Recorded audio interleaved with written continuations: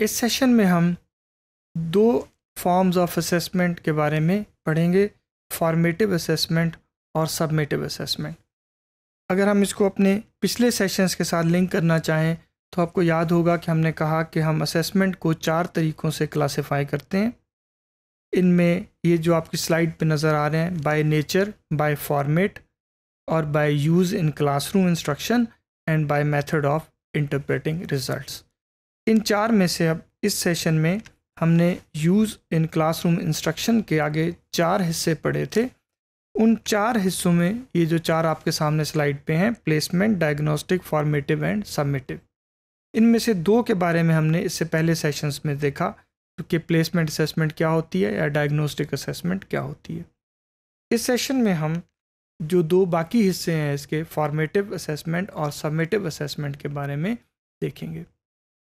Formative assessment से हमारी मुराद ये है कि जब हम स्टूडेंट्स को किसी भी पढ़ाई के अमल के दौरान क्लासरूम इंस्ट्रक्शन के दौरान इस मकसद से असेस करते हैं कि हमें फीडबैक मिले कि हम अपने टीचिंग लर्निंग प्रोसेस को कैसे बेहतर बना सकते हैं।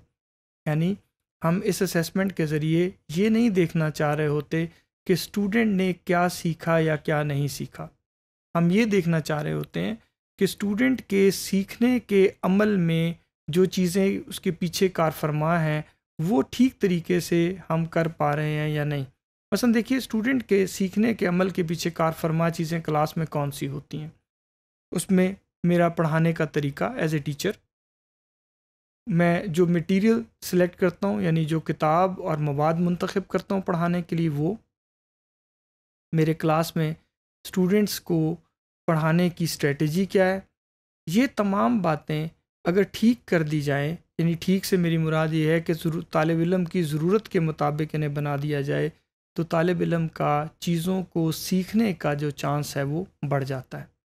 अब इसका मतलब है कि इस, मैं अल्टीमेटली तो ये चाहता हूँ कि स्टूडेंट बहुत अच्छे तरीके से सीख ले, लेकिन इस सीखने के अमल के दौरान जो चीज़ें इन्वॉल्व हैं उनको कैसे ठीक करूँ कि वो स्टूडेंट के सीखने के अमल में मददगार हो जाएँ? जब मैं इस मकसद के लिए असेसमेंट करता हूँ कि मैं असेसमेंट के इस प्रोसेस को, यानी स्टूडेंट के लर्निंग प्रोसेस को बेहतर कर दूँ, ताकि उसकी लर्निंग का चांस बढ़ जाए तो मैं कहता हूँ कि मैं फॉर्मेटिव असेसमेंट करना चाहता हूँ। अगर आप स्लाइड पे देखें तो लिखा हुआ है कि इसके ज़रिए से हम लर्निंग प्रोग्रेस फीडबैक ताकि हम री कर सकें अपनी लर्निंग को, और अपने लर्निंग करवाने के जो एरर्स हैं, उनको दुरुस्त करवाने की कोशिश कर सकें अपनी तरफ़ से। और स्टूडेंट के एंड पे अगर देखा जाए तो हम उसे ये समझा सकें कि वो अपने पढ़ने के तरीक़ाकार को कैसा बना ले तो उसके बेहतर पढ़ने के चांसेस हो सकते हैं। इसको हम फॉर्मेटिव असेसमेंट कहते हैं। Formative assessment during the process of teaching learning की जाती है। इसकी टाइमिंग ये टाइमिंग मैंने इसलिए लिखी कि देखिए जब हमने प्लेसमेंट पढ़ा था तो हमने कहा था कि प्लेसमेंट असेसमेंट सेशन के स्टार्ट में होती है। इसी तरह जब हम फॉर्मेटिव असेसमेंट की बात करते हैं तो formative assessment during teaching learning process होती है। यानी जिन दिनों में मैं फ़र्ज़ कर लें मैंने एक कोर्स शुरू किया और ये मैंने तीन दिन पढ़ाना है। अब तीन महीने पढ़ाना है। तो इस पूरे तीन महीने में मैं वक्ता फ़वक्ता ये फॉर्मेटिव असेसमेंट क्लास में करता रहता हूँ ताकि मुझे फीडबैक मिलती रहे कि मेरा पढ़ाने का जो प्रोसेस है वो कैसा चल रहा है और स्टूडेंट का लर्न करने का तरीका कार ठीक है या नहीं है? सो so, ये ड्यूरिंग द एकेडमिक सेशन है और इसके ज़रिए से हम डिसीज़न करते हैं कि इमिजिएटली हमें अपनी पढ़ाने की चीज़ों में क्या तब्दीली करनी चाहिए जिससे इनका लर्निंग का प्रोसेस अच्छा हो जाए। और ये एक दफ़ा करने वाली एक्टिविटी नहीं है। जब मैंने कहा कि ये ड्यूरिंग द टीचिंग होती है तो उससे मुराद है अगर टीचिंग की ड्यूरेशन तीन माह चार माह या छः माह है या एक साल है तो उस पूरे साल के दौरान बार बार उस पूरे पीरियड के दौरान बार बार आप इसको देखते रहें और इसके नतीजे में अपनी टीचिंग की मैथडोलॉजीज़ को मॉडिफाई करें, अपनी स्ट्रेटजीज़ को बदलते रहें स्टूडेंट की काउंसलिंग करते रहें कि वो अपने आप को कैसे बेहतर बना सकते हैं। फॉर्मेटिव असेसमेंट अगर टीचर्स के नुक़ नज़र से देखा जाए तो इसकी जो फीडबैक है वो टीचर्स को उनकी वीकनेस और स्ट्रेंथ के बारे में बताती है कि इस उनके पढ़ाने के तरीक़ाकार में क्या अच्छी और क्या कमज़ोर बातें हैं जो बच्चों की लर्निंग पे इफ़ेक्ट करती हैं? इसके नतीजे में वो अपने पढ़ाने के तरीक़ों को मॉडिफाई कर सकते हैं और मॉडिफिकेशन का प्रोसेस एक दफ़ा नहीं, ये टॉपिक के बदल जाने से बदल जाता है। ये बच्चों की अटेंशन बच्चों की तवज्जो के बदलने से बदल जाता है। सो हमें इसको मुसलसल देखते रहना है। इसी तरह से इसकी आउटकम क्या निकलेगी? टीचर के लिए उसका जो लर्निंग टीचिंग लर्निंग का प्रोसेस होता है, वो वो बेहतर हो जाएगा। इसके बाद फॉर्मेटिव असेसमेंट के ज़रिए से जो फीडबैक मिलती है, वो स्टूडेंट को कैसे हेल्प आउट करती है? जब हम स्टूडेंट को ये बताते हैं कि उसका प्रॉब्लम लर्निंग के रवैयों से मुतलक है लर्निंग करने के तरीके से मुतलक है, ना कि उसकी जहानत से मुतलक है तो हम उसको उसके तरीके कमज़ोरियाँ बताने के साथ साथ उसको, उनको असलाह करने का तरीका बताते हैं। इससे स्टूडेंट को मौका मिलता है कि वो अकेले बैठ के अपने लर्निंग प्रोसेस पे रिफ़्लेक्ट कर सकता है। सोच सकता है कि मैंने क्या प्रोसेस में क्या काम ठीक नहीं किया था जिसकी वजह से मैं ये लर्निंग अच्छी नहीं कर सका और उसको मैं अगर ठीक कर लूँ तो मेरी लर्निंग बेहतर हो जाएगी। और जब आपकी गाइडेंस से उसकी लर्निंग अच्छी होनी शुरू हो जाती है तो ये उसके लिए एक बड़ी इनक्रेजिंग फीलिंग है सक्सेस की फीलिंग उसे ज़्यादा मोटिवेट करती है पढ़ने के लिए। इसी तरह से इस प्रोसेस के अंदर हम हाईलाइट कर सकते हैं कि स्टूडेंट जो किन चीज़ों से स्ट्रगल कर रहे थे और हमारी इस फॉर्मेटिव असेसमेंट के नतीजे में उनकी इस स्ट्रगल में हमने कैसे हेल्प की और आउटकम के तौर पर उनकी लर्निंग कितनी बेहतर हो गई। सो so, इस सारे प्रोसेस के अंदर जो फ़र्क है समेटिव के समेटिव और फॉर्मेटिव का समेटिव अभी हम देखते हैं। फ़र्क ये है कि इसमें हमारा मकसद improvement in the process of learning है। जबकि स्टूडेंट को सर्टिफाई करना नहीं है कि उसने क्या सीखा और क्या नहीं। ऐसा काम करने के लिए कि इस पूरे प्रोसेस के एंड पे स्टूडेंट ने उन बातों में से क्या सीखा क्या वो कर सकता है इसके लिए हम समेटिव असेसमेंट अभी पढ़ेंगे। फॉर्मेटिव असेसमेंट को करने के लिए जो टूल्स हमारे पास होते हैं, उनमें क्लासरूम टेस्ट होते हैं, जो टीचर खुद बनाता है टेक्स्ट बुक में से, वो एक हर लेसन के बाद बना सकता है, वो एक हफ़्ते के लेसन के बाद बना सकता है, जब भी वो इसको मुनासिब समझे। और इससे भी अहम बात स्टूडेंट की पर्सनल ऑब्जर्वेशन है क्लासरूम के अंदर। जब मैं पढ़ा रहा होता हूँ तो मुझे अपने स्टूडेंट्स की शक्ल से नज़र आ रहा होता है कि किसको मेरी बात समझ आ रही है और किसको मेरी बात समझ नहीं आ रही।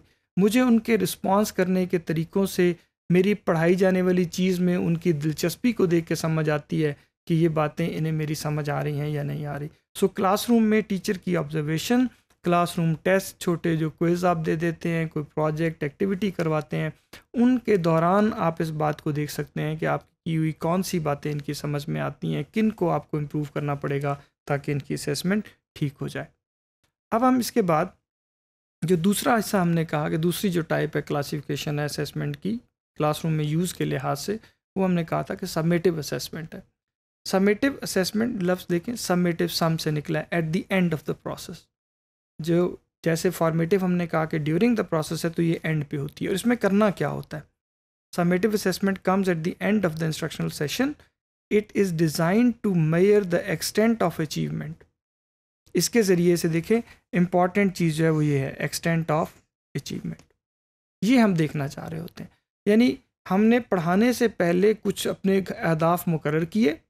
हम चाहते हैं कि उन अहदाफ के सामने रखते हुए देखें कि तालब इलम ने उन चीज़ों में से कितनी सीख ली और हम इसके नतीजे में उसको सर्टिफाई कर सकें कि इसको इतना आ गया।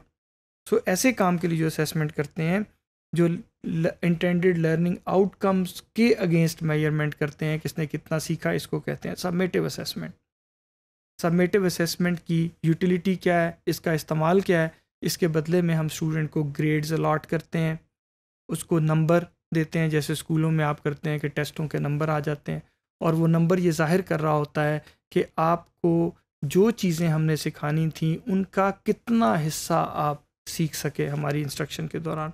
आपका यानी लेवल ऑफ़ मास्टरी कितनी महारत से आपने उसको सीख लिया।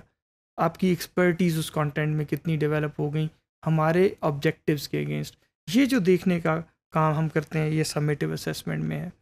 और इसी तरह देखिए कि ये टीचर जो है, इसको सेमेस्टर के एंड पे भी कर सकता है क्लास के सेशन के एंड पे भी कर सकता है, एक टर्म के एंड पे भी कर सकता है। और ऐसा भी हो सकता है कि आप उस टर्म के मुख्तलिफ़ हिस्सों में इसको मैयर करें और फिर उन सबको जमा करके फ़ैसला कर लें कि इसने कितनी मास्टरी हासिल की सब्जेक्ट में। तो यूजुअली जब हम कहते हैं तो ये सेमेस्टर के एंड पे होती है। लेकिन ये लाजमी बात नहीं है। जैसे हम यूनिवर्सिटीज़ में पढ़ाते हैं तो यहाँ सेमेस्टर सिस्टम होता है। तो एक सेमेस्टर में हम आपका मिड टर्म टेस्ट भी लेते हैं और एक फाइनल टेस्ट भी लेते हैं। मिड टर्म टेस्ट भी समेटिव असेसमेंट है और और फाइनल टेस्ट भी समेटिव असेसमेंट है। इसके अलावा जो मैं वक्ता फ़क्ता क्लास में क्विज़ लेता हूँ वो भी समेटिव असेसमेंट का हिस्सा हो सकता है। सो so, टाइमिंग एक यूजुअली तो हम इसे एसोसिएट करते हैं लेकिन इससे ज़्यादा अहम बात याद रखने की ये है कि क्लास में कोई भी टेस्ट अगर आप ये समझ के लें कि इसका रिज़ल्ट से मैं फ़ैसला ये करूँगा कि बच्चे ने जिस अब जो चीज़ सीखना थी वो किस हद तक सीखी और मैं उसके सीखने के लेवल को लेबल कर सकूँ किसी ग्रेड के साथ। और उस पर उस पर उसको सर्टिफाई कर दूँ सर्टिफिकेट दूँ कि आप इतने परसेंट सीख सकें, जो वो बाद में इस्तेमाल करता है। जब भी इस पर्पज़ के लिए हम कोई टेस्ट लेंगे तो हम कहेंगे कि ये सबमिटिव असेसमेंट है। सबमिटिव असेसमेंट के आगे इस्तेमाल दो तरह के हैं, ये भी हम एक और सेशन में भी इन पर बात करेंगे। और सबमिटिव असेसमेंट से हासिल किया हुआ रिज़ल्ट तालब इलम की, एक तालब इलम की, दूसरे तालब इलम के साथ परफॉर्मेंस को मवाजना करने के लिए या अपने कोर्स के ऑब्जेक्टिव्स को सामने रखते हुए उसकी परफॉर्मेंस को असेस करने के लिए इस्तेमाल किया जा सकता है। इसको करने के लिए आम तौर पे हम क्या करते हैं? इसके लिए क्लास टेस्ट टीचर अपने बनाए हुए क्लास टेस्ट ले सकता है। इदारा एक यूनिफॉर्म टेस्ट बना के तमाम तालब इलमों को दे सकता है। मसलन एक स्कूल में ग्रेड नाइन के दस जमाते हैं और सारे मुख्तलिफ़ से मैथमेटिक्स पढ़ते हैं। अगर उनकी समेटिव असेसमेंट करनी है तो उन सब का एक टेस्ट बना के सेमेस्टर के एंड पे या टर्म के एंड पे लिया जा सकता है। परफॉर्मेंस रेटिंग स्केल्स इस्तेमाल किए जा सकते हैं।